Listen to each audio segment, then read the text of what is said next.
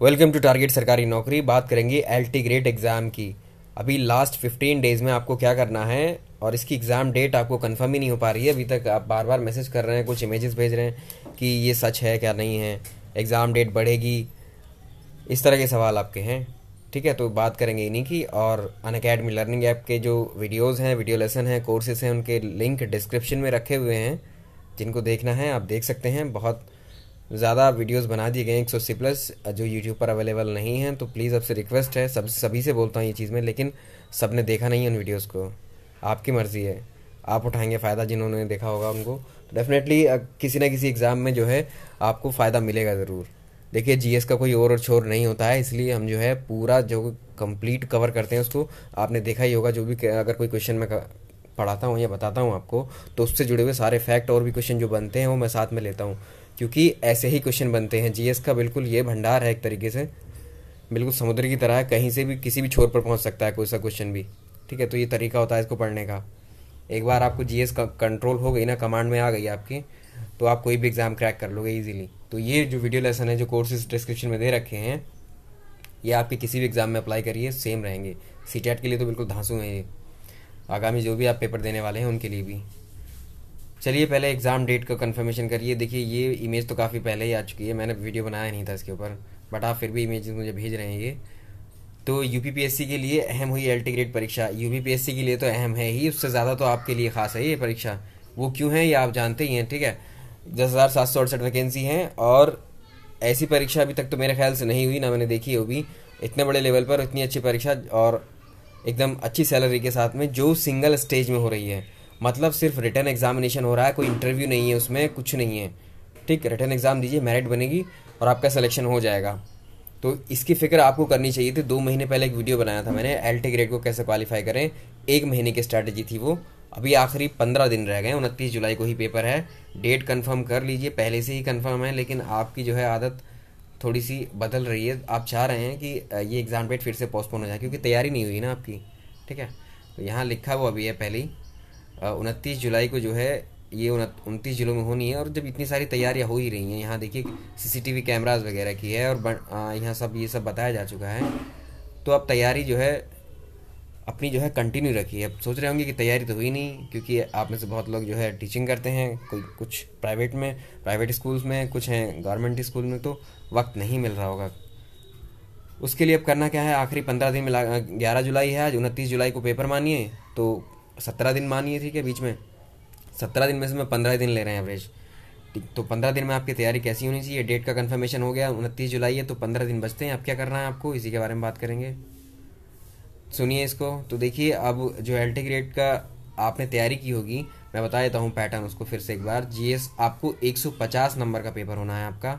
जिसमें जीएस के 30 क्वेश्चन रहेंगे और मेन सब्जेक्ट जो आपका कंसर्न सब्जेक्ट है, उसके 120 मार्क्स के क्वेश्चन है। जैसे कि आप म्यूज़िक को मान लीजिए या कला को मान लीजिए या फिर सोशल साइंस को मान लीजिए, ठीक है, उन सबके 120 क्वेश्चन होंगे। जो सोशल साइंस वाले हैं, उसमें आपको चारों सेक्शन के क्वेश्चन दिए होंगे। चारों सेक्शन में से कोई दो सेक्शन आपको अटैम्प्ट करने हैं, जो भी आपने ग्रेजुएशन में पढ़ रखे हैं। ठीक है, चार सब्जेक्टों में से। इस तरह से करना है आपको। और अभी देखिए लास्ट स्ट्रैटेजी हमने जो बात की थी, वो थी हमारी दो महीने की, एक महीने की।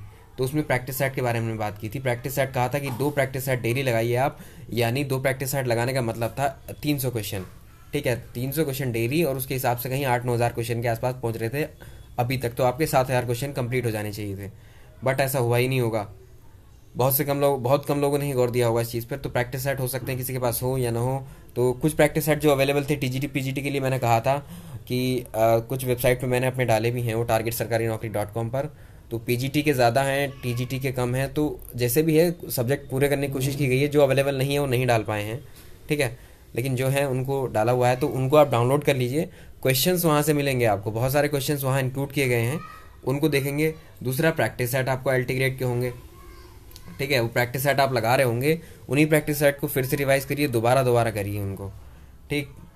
दूसरा, जो मेन सब्जेक्ट की आप जो तैयारी कर रहे होंगे, अभी आपके पास जो भी बुक्स होंगी इनकी तैयारी करने के लिए, जो भी आपके पास रेफरेंस रेफरेंस बुक्स होती हैं टेक्स्ट बुक जो भी आप पढ़ते हुए पहले से पढ़ते हुए आ रहे होंगे, उन बुक्स के पीछे आपको जो है हर चैप्टर वाइज सिलेबस के अकॉर्डिंग तो नहीं होगा हर बुक में, लेकिन जो चैप्टर आप पढ़ रहे होंगे, उन चैप्टर के पीछे एम दे रखे होंगे। तो उन एम को आपको लगाना है हर चैप्टर के एम को, जो मेन सब्जेक्ट की बात कर रहा हूँ मैं। जो मेन सब्जेक्ट में आपके एम हैं, उनको लगाना है आपको हर चैप्टर के एम छूटना नहीं चाहिए कुछ भी। ये बात आप ख्याल रखेंगे इस चीज़ का। अगर इतना भी कर लेते हैं, अपने मेन सब्जेक्ट के जो एम चैप्टर वाइज हैं, हर चैप्टर के पीछे जो दिए रहते हैं, उनको भी अभी आप कर लेंगे तो आपका जो है काफ़ी चांसेस रहेंगे ये एग्ज़ाम क्रैक करने की। पंद्रह दिन है। पंद्रह दिन में आपको जो है, जो थ्योरी है, उसकी थ्योरी अब नहीं पढ़नी है। थ्योरी बंद कर दीजिए। अब जो एम सी क्यूज है, जितने भी रिसोर्सेज आपके पास मिल रहे हैं सोर्स हैं पढ़ने के लिए, जो भी आपने ले रखे हों जीएस के लिए हों तो जीएस के लिए बुक्स वगैरह होंगी आपके पास एम की बुक होंगी, ठीक है? तो जी एस वहाँ से पढ़िए एम सी क्यूज़ पढ़ने फ़िलहाल आपको, ठीक है?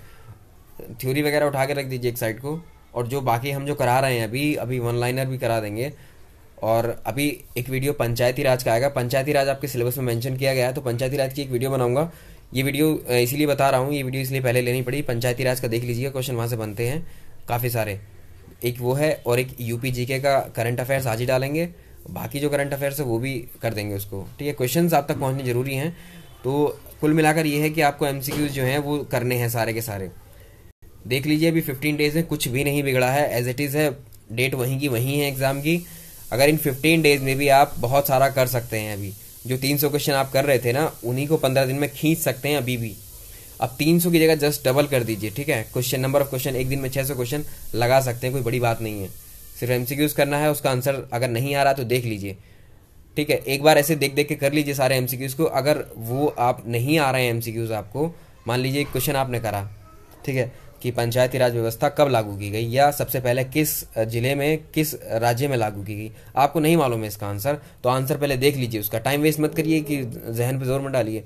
आप आंसर देखिए उसका और टिक लगाइए उसको कि हाँ ये नागौर ज़िले में हुई थी, राजस्थान के पहली बार लागू जो है देश में। इस तरह से देख लेंगे आप। फिर ऐसे ही सारे क्वेश्चन जितने क्वेश्चन आते हैं तो उसको इजीली टिक करेंगे, नहीं आते हैं तो आंसर देखेंगे। ऐसे ही करेंगे, तीन सौ या चार सौ या पाँच सौ क्वेश्चन डेली एक बार जब देख लिए, अब इसी को उसी दिन सेम दिन सेम डे पर ही, शाम को या सुबह को अपना गैप बना लीजिए। उसमें क्या करेंगे आप? अब इन क्वेश्चंस को आपको बिना देखे करने हैं।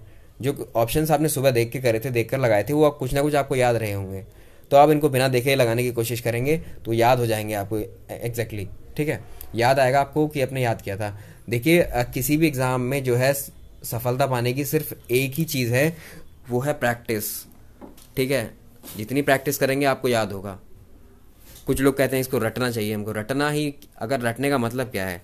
आप एक बार पढ़ते हैं किसी चीज़ को। कोई चीज़ नहीं सुनी आपने, एक बार पढ़ी आपने, वो याद नहीं हुई आपको, ठीक है? फिर दोबारा पढ़ी आपने, वो याद नहीं हुई, तीन बार पढ़ी, नहीं याद हुई, चौथी बार में वो याद हो जाएगी आपको। जब आप बार बार उसी चीज़ को सुनोगे ना, या देखोगे तो आपको याद हो जाएगी वो चीज़। तो ये क्या थी? ये इसको रटना भी कह सकते हैं आप, या फिर आपने तीन से चार बार की तो ये प्रैक्टिस ही तो की आपने। अल्टीमेटली प्रैक्टिस ही है वो, ठीक है? रटना ये नहीं है बैठ गए उसको बार बार उसको रिपीट करे जा रहे हैं। वो ज, मतलब मान लीजिए पाँच मिनट में आप उसको दस बार बोला तो ये रटना है। तो ऐसा नहीं करना है आपको। आपने जैसे एक क्वेश्चन आज देखा है ये वाला तो मान लीजिए इस क्वेश्चन को एक ही दिन में पाँच या छः बार मतलब काफ़ी सारे टाइम पीरियड के बाद में दो घंटे बाद तीन घंटे बाद या एक दिन बाद दो दिन बाद फिर से उस चीज़ को देखना है। मतलब जब तक आप इसको तैयारी करेंगे उन क्वेश्चंस के टच में रहना ये होती है प्रैक्टिस आपकी। हर सब्जेक्ट के लिए अप्लीकेबल है, सभी सब्जेक्ट के लिए, सभी एग्ज़ाम्स के लिए। प्रैक्टिस नहीं करेंगे तो कुछ नहीं होने वाला है किसी भी एग्ज़ाम में समझ लीजिए अभी भी। पंद्रह दिन में ही एग्ज़ाम क्रैक हो जाते हैं, ऐसा कुछ नहीं है। देखिए, आप अपने सब्जेक्ट में महारत हासिल कर रखी होगी, आपने जैसे भी पढ़ा होगा आपने स्टार्टिंग से ही ले लीजिए। आपने देखिए ट्वेल्थ से पढ़ते आ रहे हैं ट्वेल्थ के बाद में ग्रेजुएशन किया है पीजी किया है पीजी के बाद बीएड भी किया है, वहाँ भी बहुत सारे, और बीच में बहुत सारे एग्ज़ाम दिए होंगे, तैयारी भी की होगी। बस आपको क्या है, आपने उनकी तैयारी की क्या? प्रैक्टिस ही नहीं की। प्रैक्टिस मतलब बार बार उनको देखा नहीं, उन क्वेश्चन को, उन सब्जेक्ट को, उन एम को, उन कॉन्सेप्ट को, उन थ्योरीज को जो आपकी किताबों में दी गई है। आप सिर्फ़ क्या करते हैं एग्ज़ाम से पहले हम जैसे कि हमारे एकेडमिक एग्ज़ाम होते हैं, मान लीजिए ग्रेजुएशन में आपने जैसे एग्ज़ाम आए तो एग्ज़ाम से एक महीना पहले पढ़ना शुरू कर दिए क्योंकि डेट शीट आ गई है एग्ज़ाम की तो पास भी होना है पेपर में। उससे पहले आप जल्दी जल्दी करते हैं ना तो पेपर में पास भी हो जाते हैं, ठीक है? तो अभी सेम डेज़ चल रहे हैं वैसे।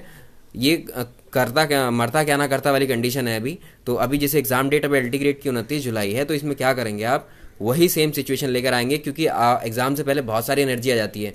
आ, कब आती है वो एकेडमिक वाले जो एग्ज़ाम होते हैं जैसे ग्रेजुएशन या पोस्ट ग्रेजुएशन जो एग्ज़ाम होते हैं या ट्वेल्थ या टेंथ के जो फाइनल एग्ज़ाम्स होते हैं उनमें आती है वो एनर्जी लेकिन जो ये जो कॉम्पिटेटिव एग्ज़ाम वाले जो आपके पेपर होते हैं ना इसमें एनर्जी नहीं आती है। आप सोचते हैं कि यार अब तो पंद्रह दिन बचे हैं अब नहीं हो पाएगा पता नहीं कहाँ से क्वेश्चन पूछ लेगा।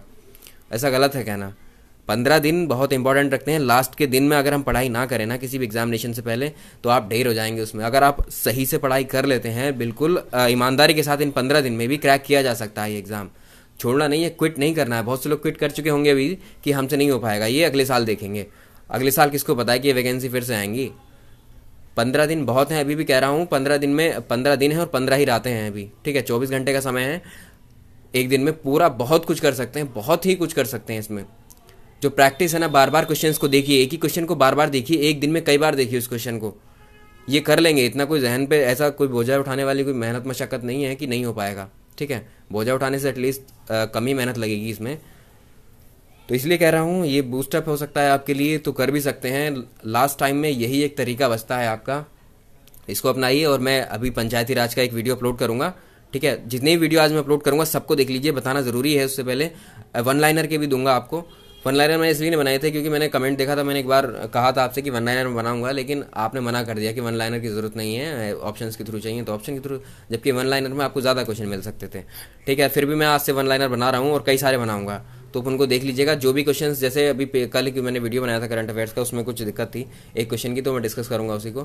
ठीक है? तो जो क्वेश्चन आपको लगता है आंसर उनका मिसमैच नहीं हो मिसमैच हो रहा है आपके अकॉर्डिंग और मेरे अकॉर्डिंग तो कमेंट में लिख देंगे उसको। उसको नेक्स्ट वीडियो में डिस्कस कर लेंगे हम।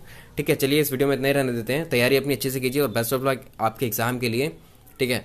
हर किसी एग्ज़ाम की स्ट्रैटेजी यही होनी चाहिए आपकी। मेहनत कीजिए बस। मेहनत का कोई दूसरा ऑप्शन है ही नहीं।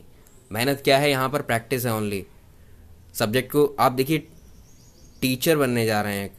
कोई मामूली बात नहीं है, टीचर बनना। सबसे बेहतरीन प्रोफेशन मानता हूँ मैं इसको, ठीक है? आप नेशन बिल्डर हैं आप लोग।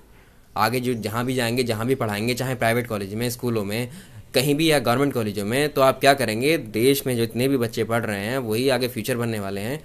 वही इंजीनियर बनेंगे डॉक्टर बनेंगे आईएएस बनेंगे, सब कुछ वही बनने वाले हैं। तो उनका बैकबोन आप हैं। आप उनको पढ़ाएँगे, अगर आप अगर आप ही सही नहीं है, आपका ही कॉन्सेप्ट सही नहीं है, आप ही तैयार नहीं है उस सब्जेक्ट को लेकर जो आप पढ़ाने जा रहे हैं उन कॉलेज में स्कूलों में, जिनके लिए आप आवेदन कर रहे हैं, जिनके लिए आप एग्ज़ाम पास करेंगे तो उनको क्या बनाएँगे? वो भी ऐसे ही निकलेंगे ना फिर? उन, वो भी ऐसे ही भटकते रहेंगे तैयारी के लिए फिर बाद में जब इस लेवल पर पहुँचेंगे आपके जैसे लेवल पर। तो आपको ऐसा बनाइए कि आप दूसरों के काम आ सकें। मतलब नेशन बिल्ड बिल्डअप करने में जो है आपका बहुत ज़्यादा योगदान हो, ठीक है? एटलीस्ट ऐसा तरीका तो आप दूसरों को दीजिए ताकि वो पढ़ सकें। यही चीज़ से कहनी है आपसे तो इस वीडियो में इतना रहने देते हैं। काफ़ी लंबा हो गया है। Thank you